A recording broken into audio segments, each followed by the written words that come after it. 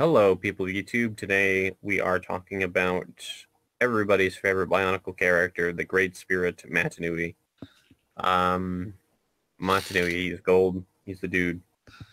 His body is made out of sand, and he uh, was embedded in the Mask of Life. But before all that happened, he was a giant robot. And the universe, the Matoran universe was inside of him. Right? Yeah. And before that happened, he was built by these guys known as the Great Beings. Uh-huh.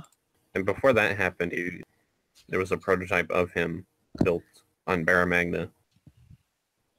All right, And, uh, got it. all right. Yeah, I got it. I got it. And uh, this prototype, uh, And the prototype would be his kind of penultimate form.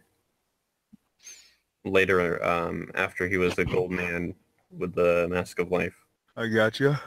In his ultimate form, his final form, is the Mask of Life. Just living inside of it, I guess. Yeah. So Mata Nui, he's the cool dude, you know, father figure-ish, you know. You know, uh, Now that Considers think um, Maku- Makuta Teridax his bro because Makuta Teridax is a good police officer. Akuta ahead. Teridax, I mean, they get along. They got along at some time. So, I mean, uh, this, uh, this, uh, Mata Nui guy kind of reminds me of someone else. Who? Uh, someone else whose name starts with an M, who also has a jealous brother. Can't put my finger on it. I don't know. Think he was a lion? Oh yeah, Would he say he meets that archetype? yeah. I, I think I think he's very much uh, Mufasa. Yeah. We'll we'll get to we'll get to the uh, cliff pushing scene, or Mata Nui's version of it. So Makuta, he's a good police officer. The Makutas are all good police officers. There's a they had to put down a rebellion. They put it down, and they're like, "Why the hell are we doing this? We could we could be causing a rebellion ourselves," you know. Seems pretty logical. And then they do. They're successful. They put him to sleep for a thousand years. Good deal. you know? Yeah. Yeah. Then he wakes up. You know, Makuta takes over his body and sends him out in the Mask of Life. And then we get back to him being the gold guy. And that's pretty much it. I must say that's uh it's pretty uh I mean I guess if you combined uh Mufasa with Simba that sounds close to what you uh just described to me. The, the thousand years things and a jealous brother, uh, a jealous sibling, this all reminds me of something of us other than other than the Lion King. Something about being imprisoned for a thousand years. Um, that number. You- I don't know. It, it reminds me of something. Uh, maybe maybe something to do with colorful horses. Yeah, I know what you're talking about. Yeah. Yeah. Yeah, you could almost say that you could almost say that uh Mata Nui is kind of like Princess Celestia from My Little Pony Friendship is Magic. Yeah, but instead of imprisoning Nightmare Moon for a thousand years, uh, it was the other way around. It's a pretty interesting turn of events. And Mata Nui has uh, six heroes that have one destiny. And what does uh, Princess Celestia have at her disposal? Disposal, sorry. Six heroines with one destiny. Oh man, this is spooky. This is pretty spooky, man. I don't know. I don't know if I like this.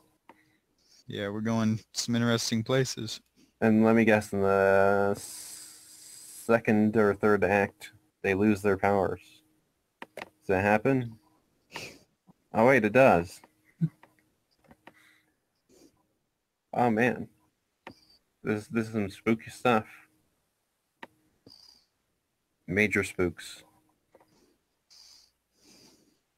And one of them would be set apart from the others as super special and get rewarded with physical uh, adornments.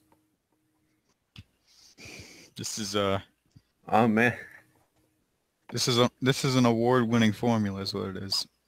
It, it must be. I mean, how else could you describe? Um, how else could you, uh, you know, rationalize this? Didn't MLP FIM win some awards? I'm sure it did. So I mean, you know, it, not only is it appealing from a creator's standpoint, it's also appealing from an audience standpoint. But really, uh, when have you seen so many similarities um, in the uh, core mythologies of works? Seems pretty spooky. It is. It's very spooky. And it's not like Bionicle was, you know, Bionicle had just wrapped up in 2010. So, I don't know. Uh, it's it's concerning, if anything. It is. Well, uh, I mean, aren't uh, I mean, uh, aren't aren't aren't uh, Barnacle and My Little Pony aren't they like owned by different properties? Yep. Wow. And weren't there buildable figures of made of My Little Pony I believe there were. in in two different lines? Yep. I don't know, man. This seems kind of spooky. Yeah, it's I'm sensing a conspiracy here. Ah, man.